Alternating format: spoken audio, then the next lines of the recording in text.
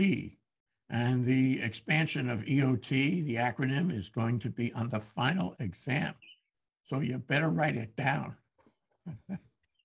Because our guest, Yingwei Kaplan, is going to help you understand that. I'm Jay Fidell. This is Think Tech, and this is Hawaii, the state of clean energy.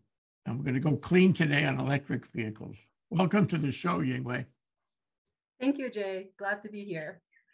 So um, let's let's talk about um, electric vehicles in the state of Hawaii. Um, how are we doing on that? And what's the connection between um, the initiative to increase the number of electric vehicles and your program, your new program that came out um, in your press release called Hawaiian Electric Launches Charge Up Commercial Pilot to Reduce Upfront Costs of Installing EV Chargers. This is all very important. And um, you are the manager of uh, EOT. So, exactly what does EOT stand for? Uh, EOT is electrification of transportation. I'm the manager of the deployment and operations division. We also have um, policy and program uh, division, um, and then a couple of uh, customer specialists. We are um, uh, uh, A plus high energy team in this uh, upcoming you know industry, and um, the EV adoption has really uh, you know picked up. Um, Hawaii is among the five top state top five states in the U.S. in EV adoption. So we're just trying to prepare ourselves to um, set up for the future, get ahead of the curve. Well, it's a chicken egg thing, isn't it? It's a spiral. The more charging stations I have, the more people are going to, you know, want to buy electric vehicles uh, and not be concerned about range anxiety and so all that. Um, so if you make more charging stations, you have more electric vehicles. And if you have more electric vehicles, chicken egg, you need more Definitely. charging stations. yeah, that's a good point. It, it goes both directions. And yeah. it's actually how our DC fast charging, which is the public charging program, um, started was to um, you know, um, try to build out the backbones to um, help alleviate uh, range anxiety. And then we started to have, you know, we also had rates um, to incentivize people to charge during the day when the solar power is at peak. Um, and then we are having the make ready programs. Um, so that's what you we're just bringing up the commercial make ready. We also have a, a e-bus make ready that was launched earlier this year this commercial make ready um, is called Charge Up Commercial. Um, is a really exciting program. Um, it actually was launched just the day before yesterday, October 25th. So we are accepting um, applications from now to mid-January, and then we'll do an assessment of the sites. Um, and then we have some um, prep work to do um, like conceptual design and you know um, participation agreement terms and easements. Um, so we have we have some work to do before reaching the participation agreement. Uh, once that's reached with the site host, we can proceed with the design and construction. Okay, I want to drill down on some of that. Um, so in order to increase the number of charging stations on uh, commercial properties and in businesses, in businesses around the state, you have this charge up program, charge up commercial program, which I think is very important. You know, we might have expected years ago, not too many years ago, but years ago, um, that um, these businesses would have not only installed their own charger, um, but they would have sold, um, they would have sold charging to their customers and you know gotten paid for it. Um, but that really hasn't happened because I'm guessing here. You can correct me if, if, if I'm wrong. Um, that hasn't happened because it's too expensive for them uh, to, you know, to put in the capital to install the charging station, particularly a fast charging station. Okay, so they haven't really done it. So now in comes Hawaiian Electric and says, hey, we got this charge up commercial pilot program. We're going to see if we can expedite, you know, the installation of, of, of charging stations for businesses. And that's what it's all about. And it's three-year pilot, yeah? Yes. Um, our public charging pilot has been running for almost 10 years. Um, our uh, make ready programs are three-year pilots. Mhm. Um, so the first nine months is ramp up. We do a design. Um, we um, reach out to uh, you know focus groups to try to design so for implementation, and then we have about 18 months to actually implement it, and then uh, uh, 12 months to do the data collection. Uh, so total is um, three years. Um, and commercial make ready, um, we are going to take up, if not all, majority of the upfront cost to bring the infrastructure like transformers, meters, conduits, electric panels, um, make them, and we, we do the procurement, the construction, and make it happen for the site host to just procure their own stations and operate their stations. Um, so yeah, the savings um, are should be significant enough to incentivize people who probably have interest to install, but you know have have not the budget or the logistics of hiring consultants and all that all that work to do the prep work, the upfront work. You know, you, uh, you talk a lot like an engineer. Uh, I am a civil engineer. I knew that. But you uh, also talk like somebody who's familiar with uh, information technology, and you're trained in that too, aren't you? Uh, yeah, I was a IT project manager for HECO for five years before I took this manager position. And um, yeah, I benefited from both background and connections for sure. And I'm still getting a lot of support from both our IT department and the operations department. Um, yeah, thank you. Well, you- you're the perfect combination. So um, let me, let me drill down on some of that. Um, So uh, I apply, I go to your hawaiianelectric.com website and I apply for this uh, uh, charge up commercial pilot program. Um, And can, can any business apply? Or are there, you know, uh, specifications, parameters uh, that determine which business qualify and maybe which don't?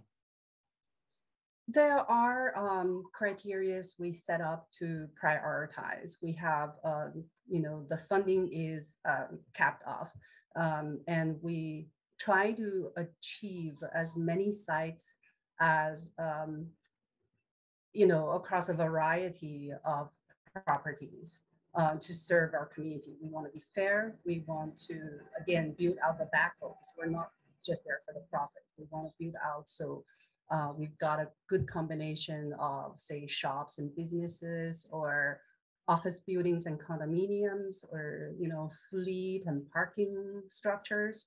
Um, just so everybody has um, some charging, level two charging stations ready for uh, Mhm. their tenants or customers um, across the islands, or you know, except for Kauai, of course. So it's um, Oahu, uh, the Big Island, and Maui. So that's our goal: is to get a variety of participants, uh, as well as um, you know, um, getting the feasible ones, the ones that are at reasonable um, cost, so the money would go a long way. Mhm, mhm. And that includes location, I suppose. Um, Oh, location, location, location. Yes. I've heard that before. yeah. Um, okay, so, so, um, uh, I apply, uh, Hawaiian Electric, y- your office determines that I'm, I'm a good, I'm a good fit for the program, for the pilot. Um, and now, um, I'm, I guess I, I have to identify a location on my property where this would go and work with you to, what did you call it, the logistics? So that you can, you can wire me up with transformers and the like. And, uh, and uh, is the right term, stub me out?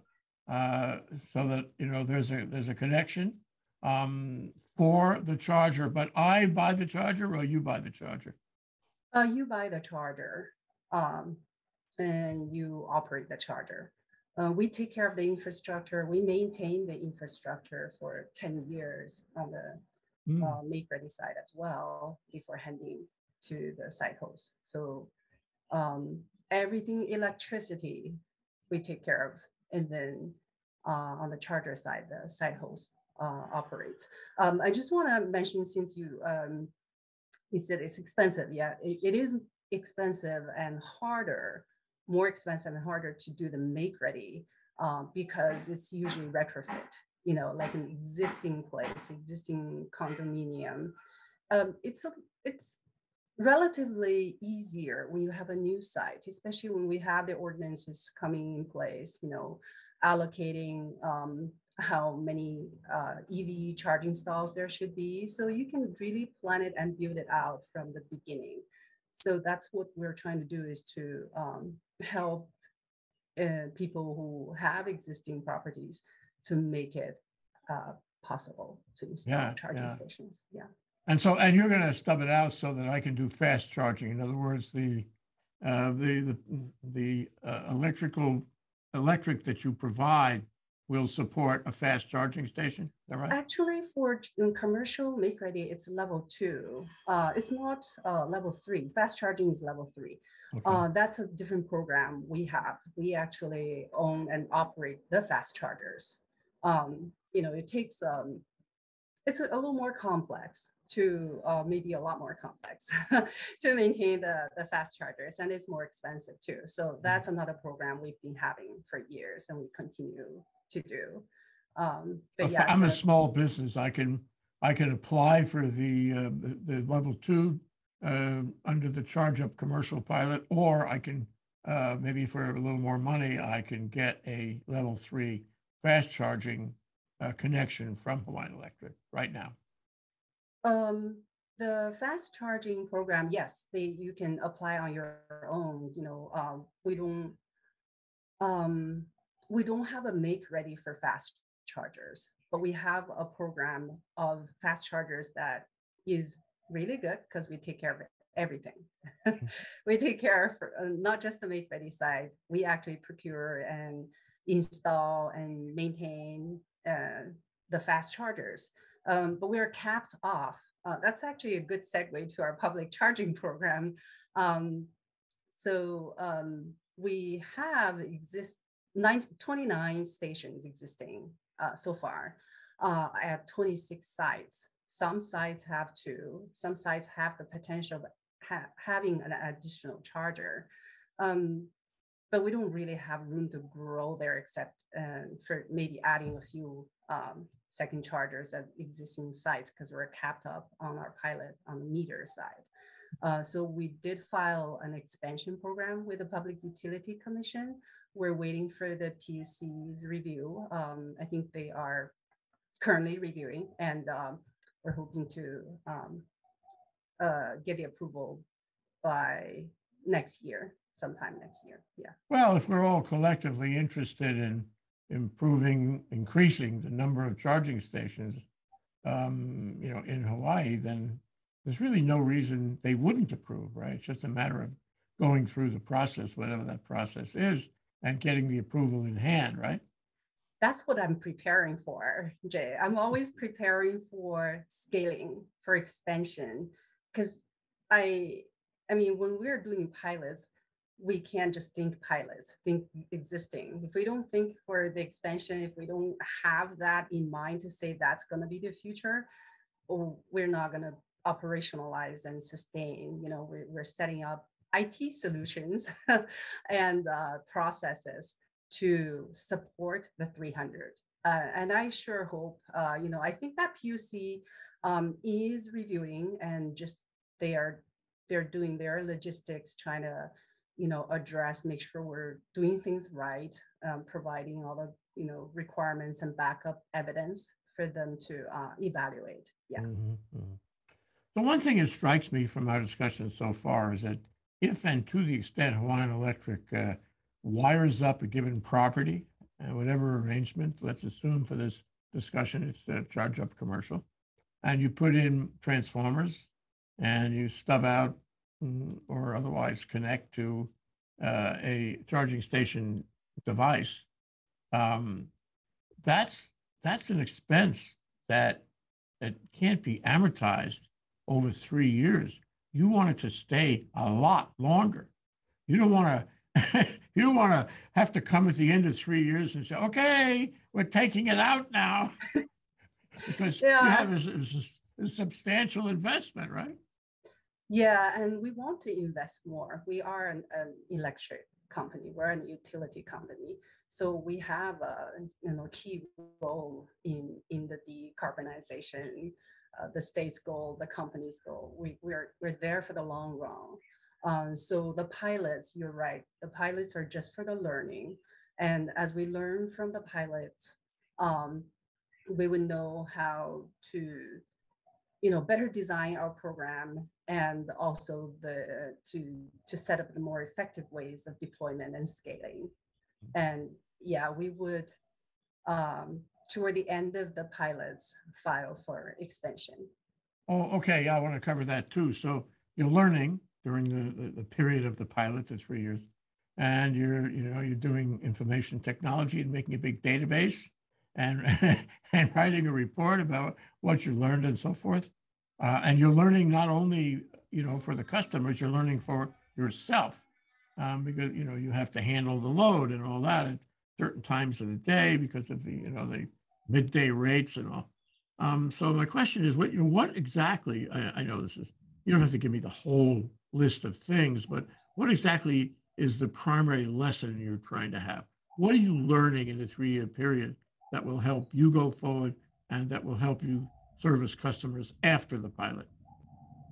And will help you satisfy the PUC when you when you apply for an extension, you know, after the three years. yeah a lot of learning and uh, actually uh, establishing is about the processes how we streamline the process to make it more efficient how we integrate internally um, with our operations and uh, technology um, processes and platforms so we are part of of the operations we're fully taking advantage of what we have internally to support eot uh, so it takes a village to raise a child. And it's not just our, our company, within the company, we're setting up processes. We're working with um, the uh, authority, uh, you know, um, that AHJs, you know, like uh, Department of Planning and Permitting here and, you know, DPWs or other county agencies. Um, so we'll, we're talking to the city and the state to see how we can help each other out in both the review process and the siting of the new charging stations. We all have the same goal of decarbonization, and we all have the um, desire to put our stations out there at the locations that are um, aligned with our with with our business goals, right? Mm. So yeah, the that conversation is is going on, and you know will certainly continue um, and we're engaging with uh, a lot of uh, community um, uh, EV advocates um, and other, you know, private sectors. So it's a, it's a, yeah, a lot of networking. One of the things in the press release was about how, how uh, somebody who participates, um, you know, in the uh, charge up commercial pilot uh, will have the benefit of uh, reduced rates. Can you talk about that? How, how, how do the rates vary um, between, say, an existing, maybe they don't vary, uh, between an existing charging station that's, that's on my business property or, or in my home, whatever, um, and the rates that would uh, be charged under this uh, um, new charge up commercial pilot? Uh, thanks. That's a good question. We uh, our commercial make ready program is coupled with the uh, EVJ EVP, which are commercial rates. Those commercial rates, again, incentivize um, midday charging. You know, the charging during the day uh, when our solar energy is abundant. Uh, so it, it should reduce um, significantly reduce the electricity cost if you take advantage of that. And that's coupled with the commercial, uh, charge up commercial program. Okay. And the Okay, meter, a separate meter needs to be installed for that. Um, and um, the meter, uh, we're deploying smart meters, right? The meters would collect the data and uh, help us learn. so uh, we have a few minutes left and I would like to um, address with you the vision, okay? And when I say the vision, I mean, just a second. Um, the vision for One Electric, for the state, and for that matter, for the PUC about the future. You mentioned that uh, uh, ultimately, when you put all these programs together, you're looking for what, 300 uh, charging stations around, uh, was it Oahu or your area of operation? Uh, so for that, that's for the public charging uh, expansion that we are waiting for PUC approval. on. Um, that is across our service territories, again, Oahu, uh, Maui, and the Big Island. Mhm. Uh, so uh, it's about um, 60, 20, 20 uh, in the percentage. So Oahu has a higher demand. Um, and the other islands, we also have, um, you know, locations um, to, we, we also have numbers to expand. Um, So Yeah. you talk about expansion. So, um, you know, is there a point, and maybe there's no answer because you have to collect data first, but is there a point where we say, that is enough? That is sufficient? Uh, Don't- uh, we don't need more charging stations right now. We're going to go on pause. Is there a point in the future where that happens? Um, actually, this number, you know, our team came up with the 300, you know, 75 sites really, 75 sites, but 150 DC fast charging um, single ports and then 150 level two, just as a combination to so they complement each other on, on certain sites. So um, um, it's based on a calculation. I think it's going to make up to about 28% of the charging stations needed by 2030. But according to the trend that of EV adoption, that percentage could even be lower. So we're really just making up for a small fraction of the charging stations needed. Um, so we are, you know, hoping that the um, private sectors would take advantage of our make ready programs and you know um, just expand on their side. So there is an app called PlugShare uh, where you can go to and see out there in your community uh, what kind of charging stations and where they are on a community level. And you can go to ev map uh, that is a specific app to uh, an internal app but it's customer facing right to um, HECO owned uh, public charging stations, fast charging stations. Um, so a lot of people probably don't pay attention to that option on the EV um, uh, map. It's actually on your HECO mobile app. A lot of customers are already using the uh, HECO mobile app to pay their bills or report a power outage. Just scroll down to the bottom or uh, swipe it to the very right side. You'll see it. There is the EV map. And we um, update the EV map. Lo- the locations are there. The ones that are actively um, in use are on the EV map, and the status is also there. The most up to date status is on our EV map. And you can also go to the website, you know, uh, Hawaiian Electric uh, slash Go EV, um, and then go to fast charging to find that map. Hmm, so more data, because this is going to allow you to identify which stations are getting how much traffic, uh, which stations are more popular and so forth. And, and, and that makes you, uh, that allows you to create a new map going forward where you fill in, um, you know, the gaps. Uh, where you- yeah, you we're know. using that. We're, we're, we're trying to set up those uh, analytics on our side, so Yeah. we can keep an eye out and and analyze that. That's for sure. You know, there's a lot of um, work behind the scenes that we're doing. Yeah, sure. It seems, seems only logical. And you talked about a calculation before. I, I can see a, a, a calculation um, um, uh, uh, with the things that you and I have discussed. In other words, so you have more, more cars, you have more businesses that, uh, you know, get into the pilot. Um, you have, um, you know, information you get from the, the map. Uh, and you can, you can lay out what you need going forward. You can actually plan uh, around, you know, your current experience and all the learning experience that you have, both commercial and, and public. Um, and then you can say, hmm, uh, wi- by this year, we're going to need that many. By that year, we're going to need that many and so forth. And, and, and before you know it, there are 50 people in your shop all working. all we are certainly a group that's going to grow. Um, you know, the demand is out there and we feel the urge to serve the community. And um, yeah, we're doing our share to try to be out there and, and help you make it happen, help alleviate the range anxiety. And um, oh, I, I wanted to mention uh, that uh, the because the commercial uh, charge up commercial program it has recently launched. Um, if you don't know where to go to to submit your application, uh, the uh, website is Hawaiian Electric slash uh, charge up commercial. That's reasonable.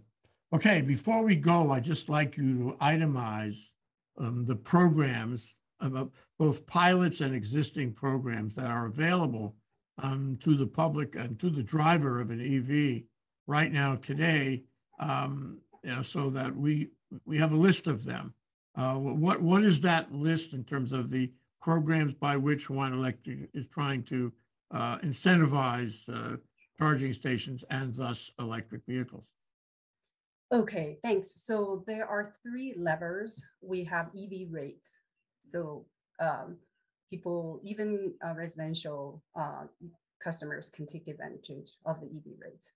Um, and then we have um, the uh, public charging program um, that we own and operate chargers. Um, and then we have the make ready programs and of which we have two. One is charge up e-bus, one is charge up commercial. Um, that we both are in implementation stage and we are taking applications. It's all about infrastructure. It's all about uh, uh, building, building a new state that has uh, uh, charging station connections and thus uh, uh, electric vehicles. And there will come a time in the not too distant future where that's the only kind of car you can buy. So get ready. yeah, the more the more we um, we put out there, the better it is because then we have some kind of redundancy, right? You're not counting on that one charger. You have more chargers and you have better chargers because the industry is evolving. The equipment that we found the best years ago may not be the best right now. So we keep you know, evaluating, assessing technologies to buy the more state of art um, equipments as well. Well, if you didn't, who would? So you've got to. we want you to. and we want to check back with you, Yingwei. We want to check back with you from time to time and see how the, it's kind. it's the, the Think Tech pilot, you know, on the Hawaiian Electric pilot. we check back with you and see how it's going, see how the numbers have changed, see how the programs have changed, and see how you know how how far we have gotten onto our goals. Really appreciate you doing this and coming on the show and telling telling us about it, Yingwei. Thank you very much. Thank you for the opportunity. I would love to share lessons learned with you. I'm also a project manager as a background. So, you know, it's it's all about transparency, about learning uh, as we go. Thank you, Yingwei. Aloha. Thank you. Aloha.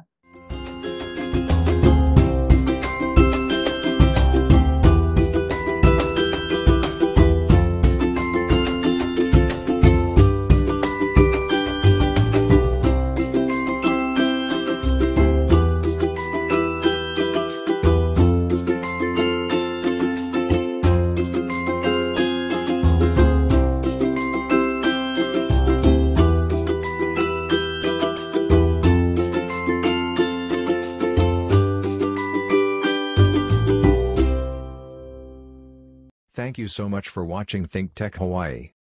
If you like what we do, please like us and click the subscribe button on YouTube and the follow button on Vimeo. You can also follow us on Facebook, Instagram, Twitter, and LinkedIn, and donate to us at thinktechhawaii.com. Mahalo.